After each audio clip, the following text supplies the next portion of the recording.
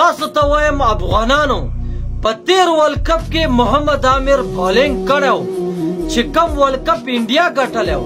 خو ده پکې د دوې روپې بالینګ نه و کړی دا هسې فضول میچ ده صرف د ده بالینګ چې فضول میچ کې دوبه داسې ښکلی بالینګ کوي داسې ښکلی خو چې کم میچونو کې بالینګ پیدونه وي هغې کې دو بالینګ نه کوي ځان په شرمونو شرموي نو دا ناجایز نه ده ته دا وګوره د څرنګه بالونه کړی دا بالنګ ټول چک د دې میچ دوی ورځې نه کی دا سه بالنګ کړی لکه په جادوی چې وشته اے